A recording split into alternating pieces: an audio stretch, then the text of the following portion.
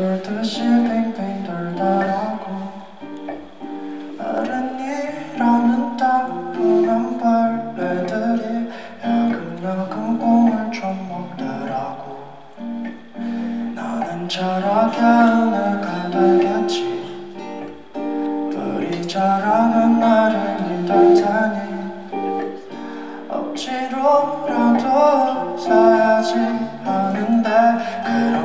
그럼에도 좀 울적하더라고.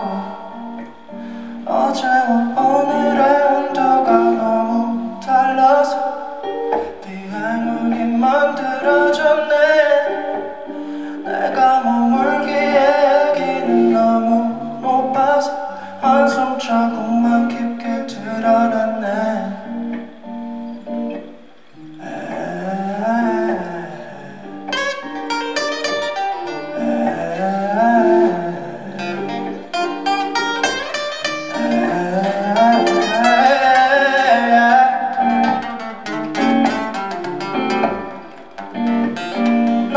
저렇게 내가 되겠지.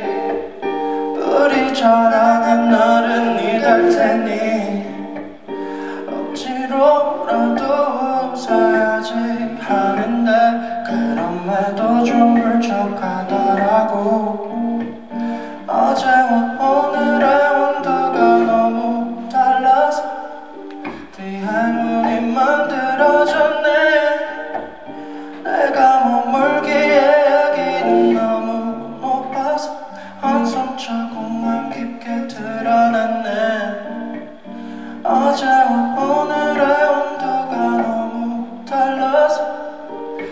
행운이 만들어졌